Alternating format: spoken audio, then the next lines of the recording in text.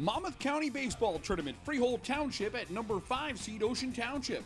The Patriots got a stellar effort on the hill from Kyle Fenton. This is one of his seven strikeouts. Ocean's Anthony Bartolome matched Goose Eggs, were scoreless through four. In the fifth, this is Joe Silvestrone, one of the Shore's top power hitters. He belts one to dead center field, a one hopper to the wall, and the catcher shows some good wheels. He trucks it to third with a one out triple. The next batter is Fenton, who does his job with a fly ball to center. The catch is made, and we've got a play at the plate. Silvestrone slides in safely, and the Patriots take a 1 0 lead. After another sac fly in the sixth, a big seventh for the visitors. John Carroll, the base hit to right. This is part of a four run inning. Freehold Township, the number 12 seed, gets a 6 0 win over Ocean. After the game, we talked with Kyle Fenton, who delivered his second straight complete game shutout.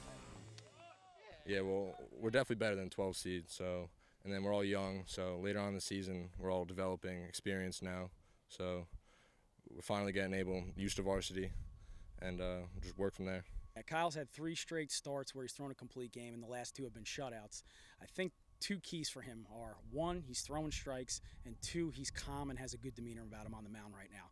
Early in the season, he had some struggles coming out of the bullpen, but the last three times he started, he settled into a groove, and the longer he's gone, the better he's actually gotten. I think he's been just as good in the fifth, sixth, and seventh as he is in the first, second, and third. So I think it's confidence, I think it's demeanor, and I think it's just throwing strikes.